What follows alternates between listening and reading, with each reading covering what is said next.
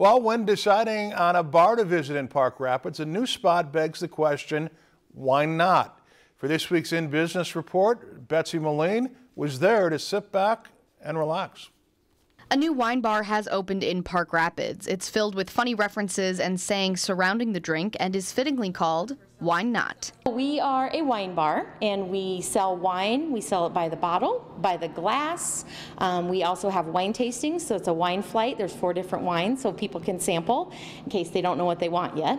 Um, and then I do have some light appetizers and um, cheesecake for dessert, kind of helps complement our wines. The owner is new to the area and wanted to bring a new kind of bar to Park Rapids. So I'm originally from Omaha, Nebraska, and it was wine bars just took off in Omaha. There are several there. And I've always had this dream for years to open one. The bar sources wines from all over the world, including some local wineries from Forest Edge to Cannon River, and the owner recommends the Salmani from Carlos Creek. In fact, many of the details at Wine Not feature local talent. From the art on the walls to reclaimed wood flower boxes that were assembled by a Park Rapids community member and filled by a local nursery, all the way to retail glasses made by a 14 year old Park Rapids high school student, raising money for school trips.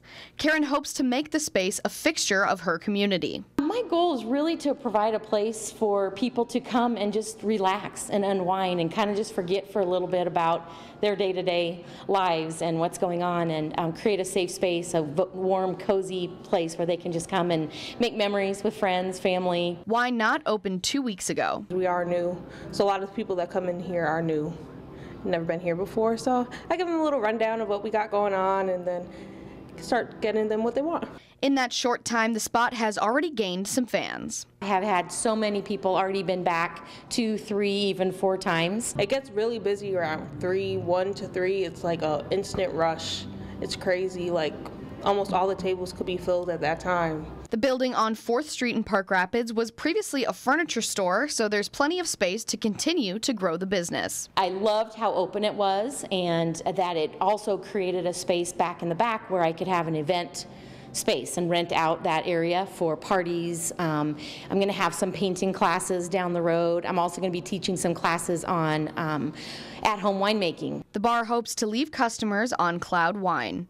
Reporting in Park Rapids for this week's In Business, Betsy Moline, Lakeland News. And Wine Not is open every day except for Sundays. Lakeland News is member supported content. Please consider supporting Lakeland News today.